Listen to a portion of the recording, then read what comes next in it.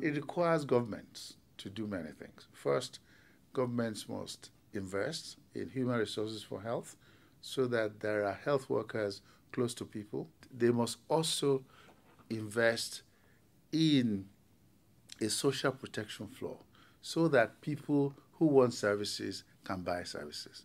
It's not good enough to have services when they cannot afford it.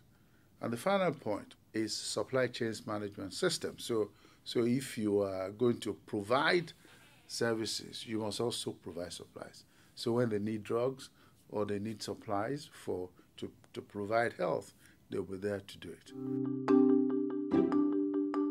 I think it's important for us to be able to provide good nutritional advice to young people so they eat well, balanced diet.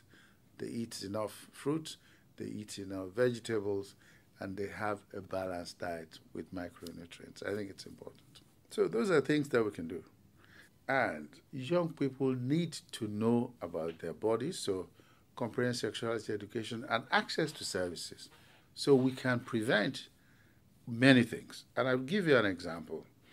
Today, the highest incidence of HIV occurs in the adolescent girls in Africa.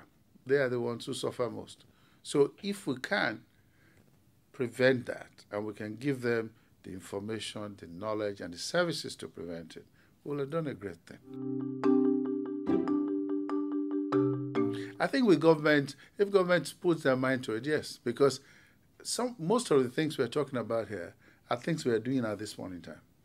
So governments, civil society, the private sector just need to be a lot more organized.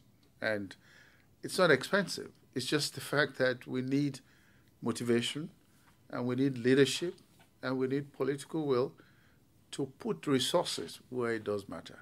And if we do it, we'll get there.